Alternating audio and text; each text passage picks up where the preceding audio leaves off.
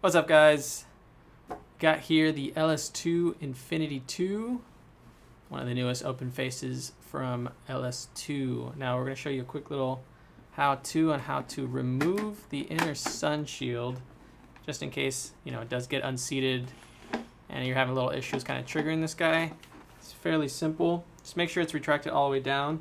You're going to pull straight out from this contact point and you should hear a little pop. Um, interesting kind of pivot or interesting kind of connection point.